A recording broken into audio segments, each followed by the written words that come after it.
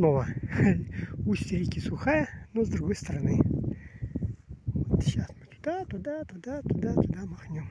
Вот такой круг сделаем. Места очень красивые. Ну и день шикарный, конечно.